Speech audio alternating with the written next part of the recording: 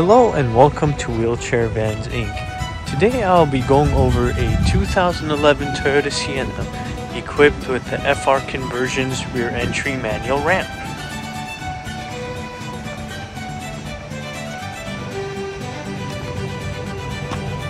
Let's go ahead and bring down the ramp.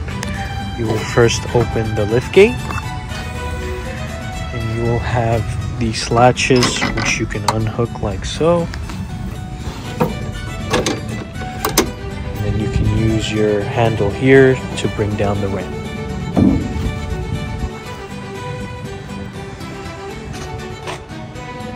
Let's head inside and check out the setup.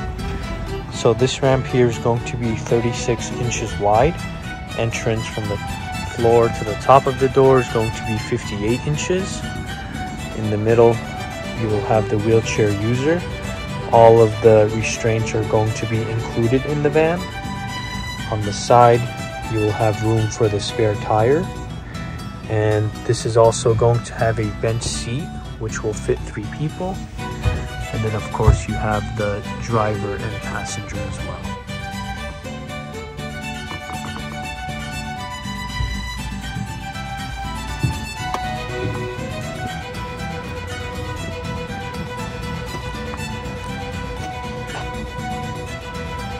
Let's go ahead and bring the ramp back in. You will use the same handle to bring it up like so. And then you will need to put the hooks back in. And then finally close the gate. If you guys have any additional questions, please feel free to reach out to our sales team at 949 664 1146. Thank you.